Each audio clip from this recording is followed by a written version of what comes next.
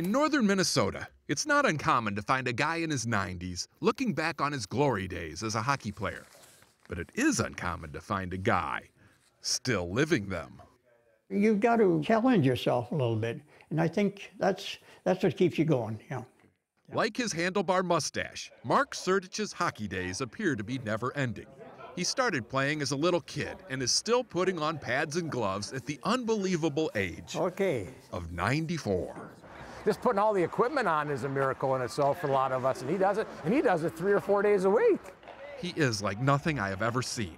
Just stepping over the boards is like nothing I have ever seen. Oh yeah. Mark plays in pickup games, and every time he comes to the rink, he is the oldest by a generation. In fact, some of these guys could be his great grandchildren, and yet he keeps right up with them, almost as if he's oblivious to his age. You ever heard of shuffleboard? I I've heard of it, but I never played it. Yeah.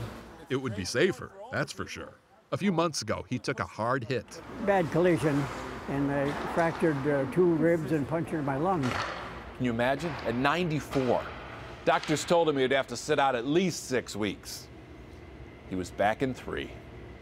I just loved the game, I guess. And he's good at it, too. Watch this. That's him with the puck. Scoring. All right. How many goals did you score today? Well, uh, I should have had more, but I only had six today. Only six today. Yeah. That's more than anybody else. Well, I think so. Yeah. For the record, Oh, it was. couldn't miss that one. And to add insult to injury, not only does Mark beat the pants off these whippersnappers, he takes their money too. Way back when Mark was just 80, the other guys in the group offered to pay his skating fees for life, thinking how much longer could it be? It's killing us. It's killing our budget. That was 14 years ago. Is that true? Yeah, it's true. I figured, gee, that's a pretty good deal. So is it that you love hockey or are you just cheap? Well, you would ask that, wouldn't you?